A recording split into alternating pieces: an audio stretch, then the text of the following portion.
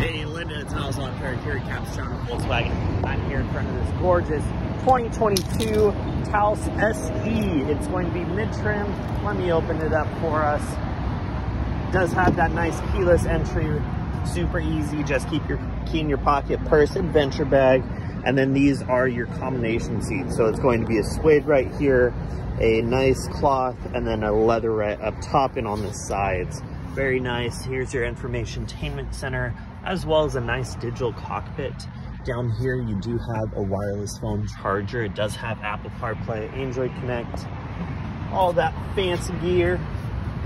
Let me open up the rest. I do have one seat down just so you can see how much space you do get. And it does have a bonus stuff in the back. And then very easy to put these seats up. Very light seats, but very comfortable seats. Tons of space.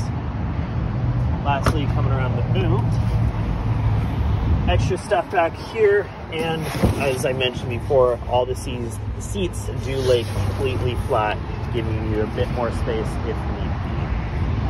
If you have any questions whatsoever, feel free to let me know, 951-440-6566. I'm happy to help you in any way I can.